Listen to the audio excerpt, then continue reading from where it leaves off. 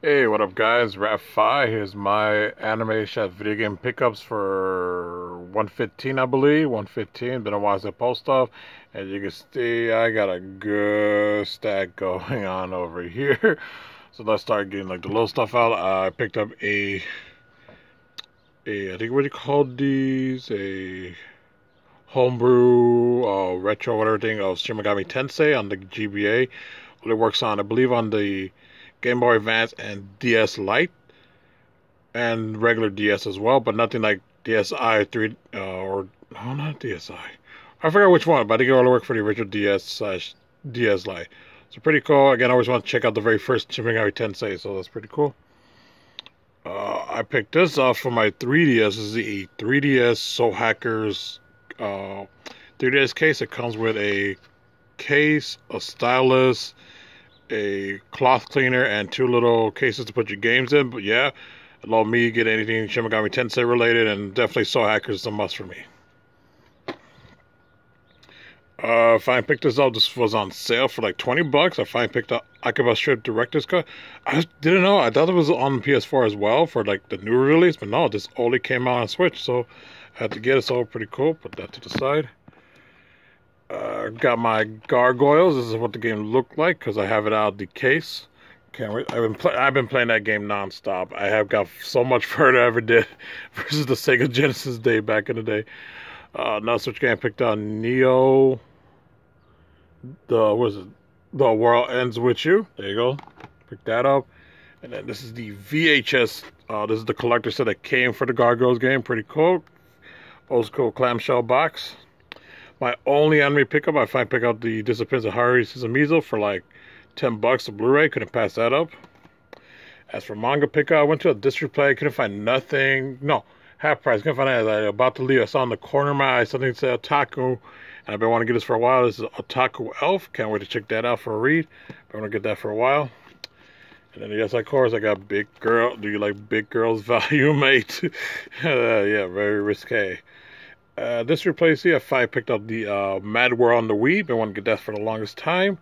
And Heavenly Guardian on the Wii. Been wanting to get this for the longest time.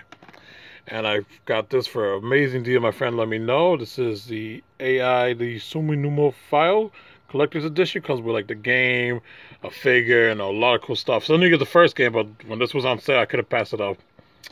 Let's start with my DS game. I finally picked up Life Life Science Surgical Unit. It's kind of like trauma, basically trauma center, so I want to get that for a while.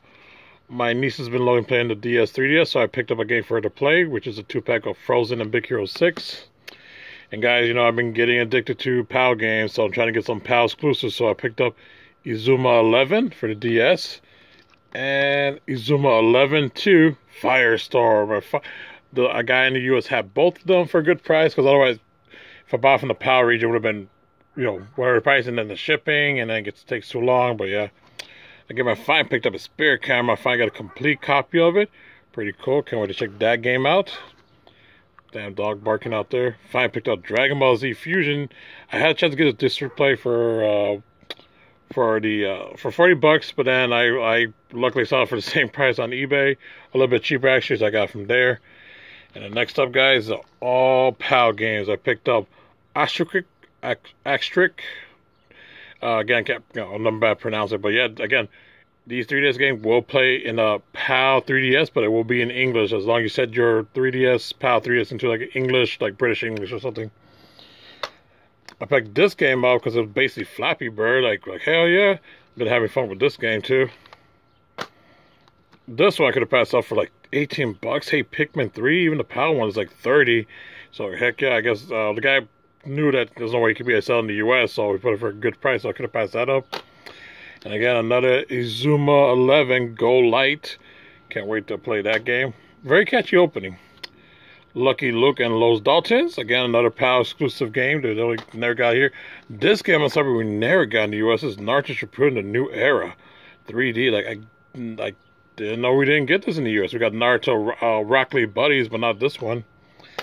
And then I got another copy of One Piece because it was a US seller was selling it. It was a good price. Won it, so heck yeah. Some other games that they got from like the PAL region, so it took a while to get here. And last but not least, uh, I couldn't pass out. This was on sale at Best Buy.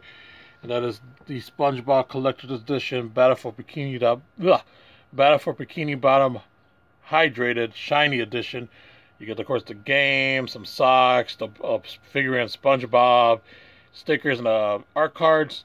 Mainly got because it was like 40 bucks. I could have passed. I Basically, upgraded my Switch version to the, the, PS4 version.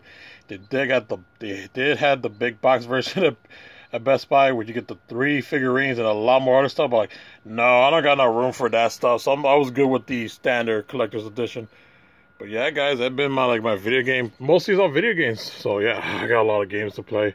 But yeah, I hope you guys enjoyed my video. This is a Rap 5. I'm gonna henshin a go go. Goodbye.